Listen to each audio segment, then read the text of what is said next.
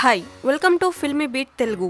ప్రజాసేవ చేసేందుకు రాజకీయాల్లోకి వచ్చిన పవన్ కళ్యాణ్ మీద కొందరు చాలా దారుణంగా మాట్లాడుతున్నారు. మూడు పెళ్ళిళ్ళు చేసుకున్న వాళ్ళు కూడా సమాజ సేవ చేస్తారా అంటూ వెటకారం చేస్తున్నారు. రెండు మూడు రోజులుగా పవన్ కళ్యాణ్ గురించి మాట్లాడుతూ హాట్ టాపిక్ అయిన హీరోయిన్ మాధవిలత ఆయన మూడు వివాహాలపై కూడా స్పందించారు. పవన్ కళ్యాణ్ లీగల్గా అందరికీ విడాకులు ఇచ్చేసే మూడు పెళ్ళిళ్ళు చేసుకున్నారు. ఆయన నిజంగా అన్యాయం చేసి ఉంటే మోసం చేసి ఉంటే రేణుదేశాయ్ ఇప్పటికీ అంత గౌరవంగా ఎందుకు మాట్లాడుతుంది? నో కామెంట్స్ అని ఒకటే మాట చెప్పేది. ఆమె ఏ రోజు అలాంటి వర్డ్స్ యూజ్ చేయలేదు. పవన్ కళ్యాణ్ పేరు చెబితే చాలు ఆమె చాలా ఎగ్జైట్ అవుతారు అని మాధవిలత తెలిపారు. అలా మాట్లాడుకుంటే మన రాజకీయ నాయకులు ఒక్కో పెళ్ళి చేసుకొని పది సంసారాలు మెయింటైన్ చేస్తున్న వారు ఉన్నారు. దాన్నేమంటారు ఇవన్నీ అందరికీ తెలిసినవే. అంటే మన వాళ్ళు ఇల్లీగల్గా చేస్తే తప్పులేదా పవన్ కళ్యాణ్ అఫీషియల్గా చట్ట ప్రకారం విడాకులు ఇచ్చి చేస్తే తప్ప అంటూ మాధవిలత ప్రశ్నించారు. దేవుళ్ళు రెండు మూడు పెళ్ళిలు చేసుకోలేదా? అలా అని పవన్ కళ్యాణ్ను నేను దేవుడు అండం లేదు. ఆయన మంచి మనిషి. సమాజానికి మంచి చేయాలనుకుంటున్న మనిషి. పవన్ కు సందర్భం అలా కలిసి వచ్చిందేమో? దేవుడు ఎవరికి విడాకులు ఇవ్వలేదు. ఒక్కరు ఉండగానే మరొకరిని చేసుకున్నారు అని మాధవిలత అన్నారు. అంటే ప్రపంచంలో దేవుడికైనా ఇద్దరి భార్యల మధ్య ఇరుక్కుంటే నలిగిపోతారు. కలియుగం ఇలా నడవాలి అని చెప్పడానికే సింబాలిక్గా మన పురాణాల్లో అలా చెప్పారు. దాని మీద నేను ఏం కామెంట్ చేయడం లేదు. ఇప్పుడు మనకి రోడ్డు మీద